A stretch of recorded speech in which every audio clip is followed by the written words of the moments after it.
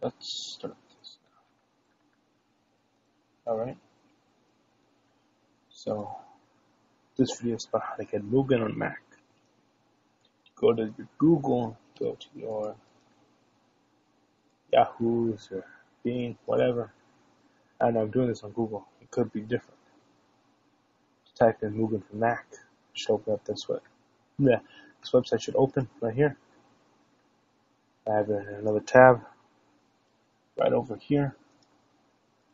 See the transition. Voila, same page.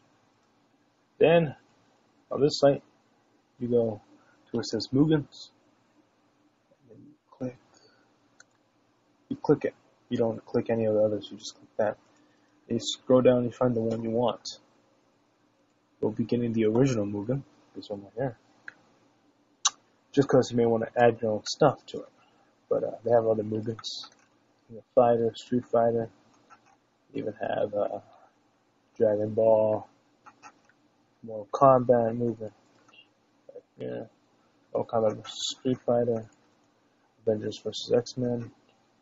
Of course, you could download all these other two and then uh, get the character files that are on these and just put them to your own Mugen.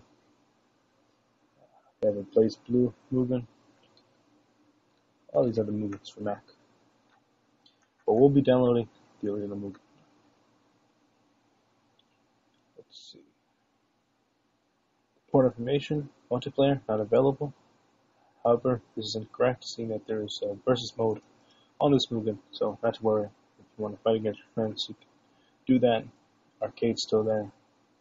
All that stuff. compatible for a Mac OS X 10 plus 7 plus 5 plus.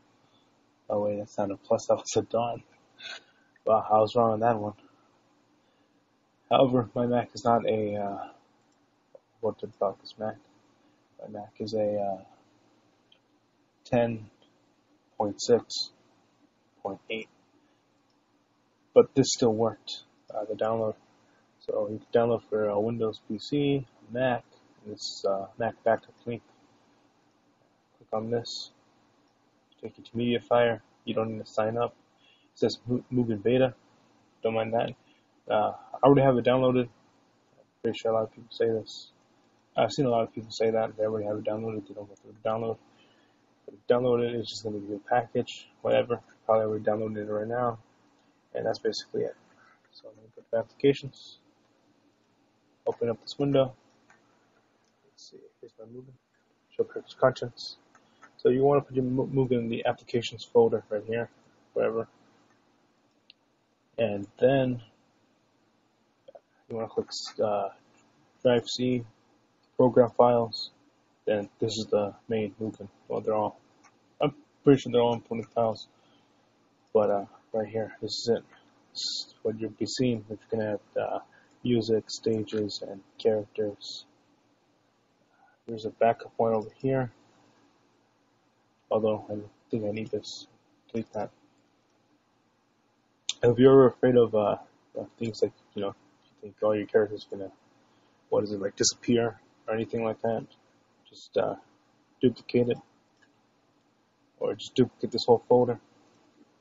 Now, there's one thing you're gonna need, and that is called a, see over here it says Wine Skin. I think we need to download a program called Wine. I'm not too sure, and I don't remember I have this program over here called Wine and then Wine uh, Bottler.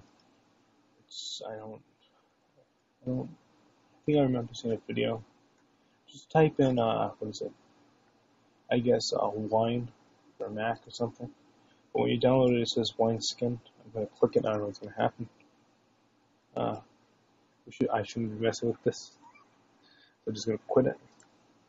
But uh, I think you just type in wine for Mac or something like that on Google show up